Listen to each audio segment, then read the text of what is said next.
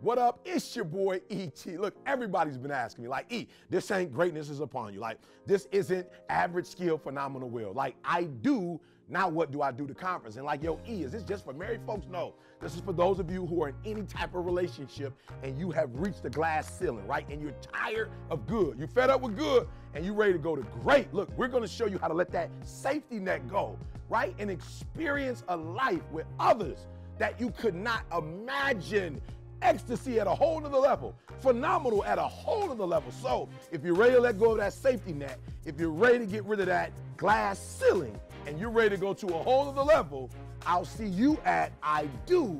Now what do I do? The conference.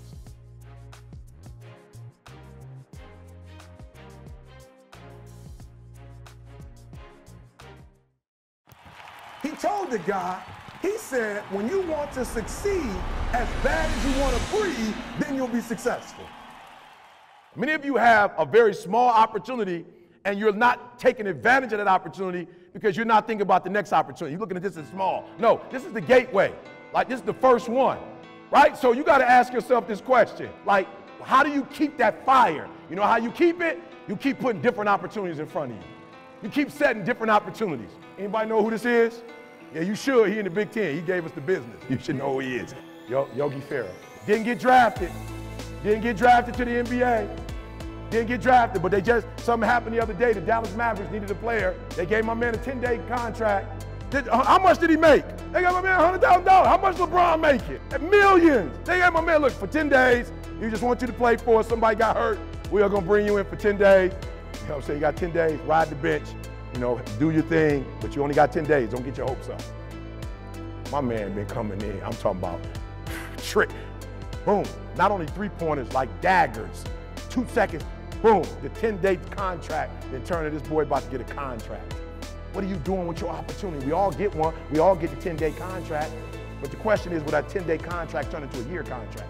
Will it turn into a two-year contract? You think Yogi Ferrell's the only one that's got the opportunity to come from the developmental league and play? Nope. You think other people are doing what he's doing? Nope. Why? Because they weren't prepared for it. What are you doing in the dark when nobody's watching? What are you doing in the dark? 10-day contract. But he didn't come in and say, I only got 10 days. That's what some of y'all on. Oh, since I only got 10 days, I might as well only give 10 days worth of effort. I might as well only give 10 days worth of energy. Yogi Ferrell was like, I'm about to act like this might be my last shot. I'm about to act like I'm starting. I'm about to act like LeBron. I'm about to act like Kyrie. I'm about to act like Steph Curry. When you put me in the game, I'm telling you, I'm about to murder him. And at the 10 game, he been murdering them. He been on ESPN almost every game. All they talk about, Yogi Ferrell. I'm talking about NBA TV, ESPN 1, ESPN 2, like Spanish ESPN. So y'all gotta understand something. What was Yogi, what was Yogi doing before? What was Yogi doing before he got that opportunity, y'all? He was preparing for it. You don't get in the game and score like he's scoring. So he said, so what I didn't make the league? So what? They can't stop me from practicing.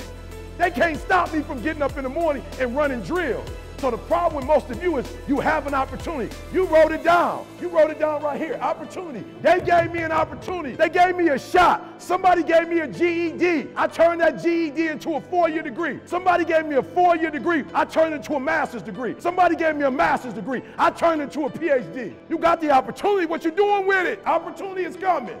Will you be ready when it comes?